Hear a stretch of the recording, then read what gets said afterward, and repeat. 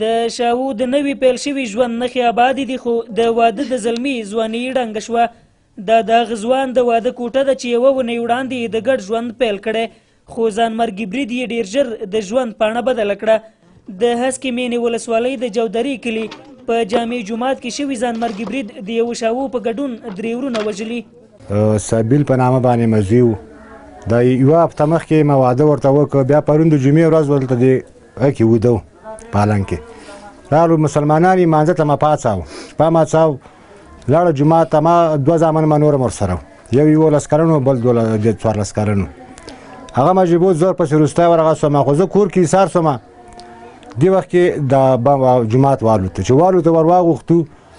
کابو سل یو نیم سل کسان دا پکې ټول پراته و زنانه ټولې خوارانې چغېدې داسې مساغ څوک نه و چې دا جومات یې راسپړودا وای د شاوو مور د خپل زوی د واده لپاره په سینګار شوې کوټه کې یوازې د اوښکو تویولو بله چاره نه لري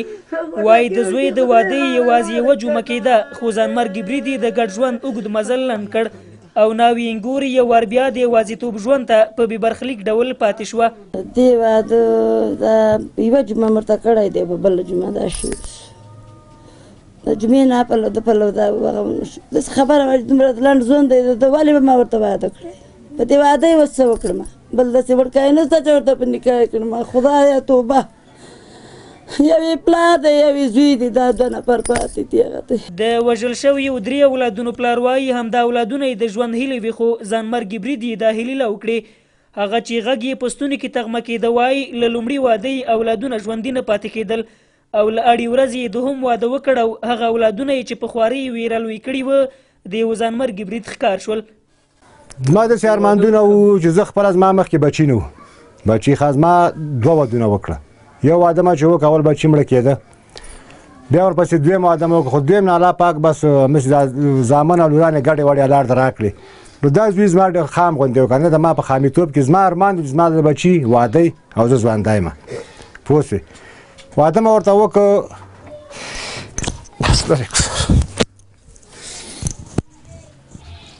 د تېرې جمعې په ورځ د ننګرهار هسکې مېنې ولسوالۍ د جودرې کلي په جامع جومات ځانمرګي برید درې اویا تنه ووژل او تر دېرشو ډېر یې ټپیان کړل، خو د برید مسؤلیت تر اوسه هېڅ یوې وسلهوالې ډلې نه دی منلی. ایمل ظاهر، شرق راډیو تلویزیون، د ننګرهار هسکې مېنې ولسوالي.